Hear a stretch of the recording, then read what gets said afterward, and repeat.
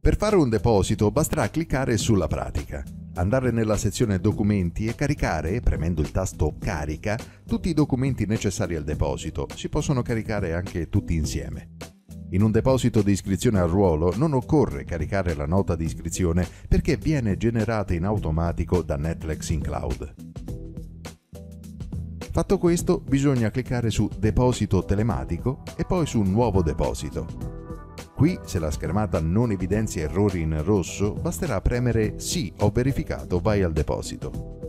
Scegliere l'atto, il ruolo e l'oggetto della pratica.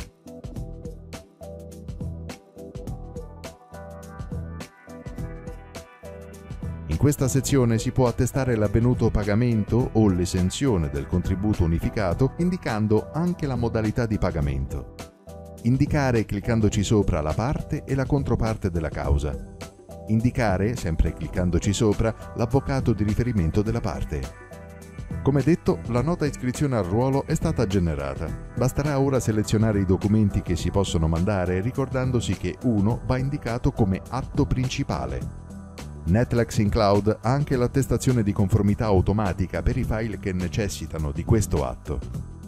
Premendo su Firma documenti partirà la procedura di firma che prevede l'inserimento del codice PIN, se si usa la chiavetta, o del codice OTP se si sta usando la firma remota tramite smartphone. Cliccando su Crea, busta e spedisci, il deposito sarà indirizzato verso la cancelleria di riferimento.